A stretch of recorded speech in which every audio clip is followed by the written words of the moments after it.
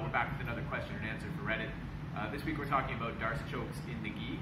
People were questioning whether or not the fabric gets in the way, and it admittedly can be hard. It adds a lot more friction to try to sink a traditional Darce choke. What we're going to do instead is use the fabric to finish a collar grip variation of the Darce choke. Easiest way to set this up is going to be off of a loop choke, so we're going to look at that first, and then we'll look at using this as a way to attack with person defense.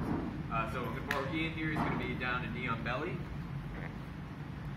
So I'm starting here. Traditionally for knee on belly, I'm to have one thumb in behind the collar, and I usually grab the hip or the belt, whatever, so I can apply a bit of pressure here. What I'm looking to do is pop this open to create a bit of space here so I can sink my second hand in. One is a thumb in grip, one's a fingers in grip. I'm to lift Ian's head up, loop my arm over, and drop pressure here. It's a really tight choke. I want to keep my hands as close together as possible. Make sure I sink that second grip nice and below Ian's jaw. Okay. One more time, here, in, lift him up, drop pressure, get my submission.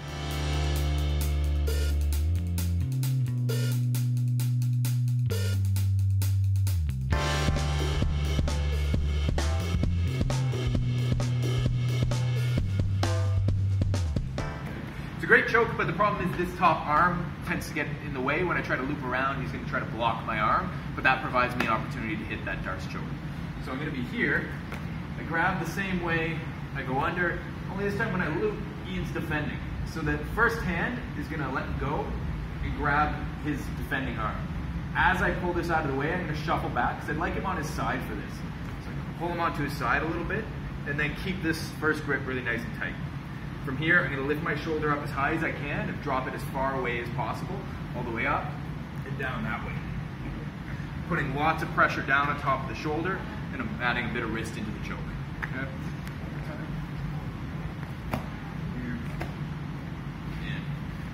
Defense, grab, shuffle, pick your shoulder up, lots of pressure down. If you have to sprawl out here, sprawl out and add the wrist underneath.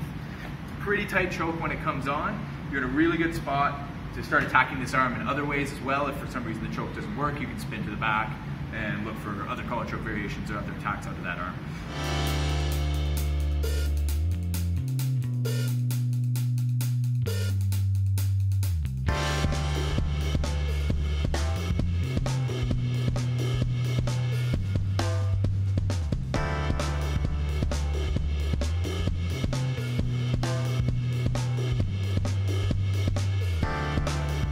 If I was here and I pulled this across and I'm talking about trying to sink this in traditionally, the, the fabric does kind of get in the way.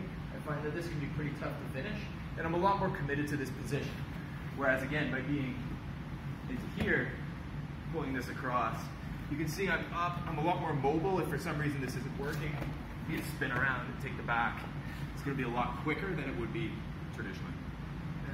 Uh, let us know if you have any other questions. We'll try to make a short video for you to answer as best we can. Thanks for watching, and feel free to comment below.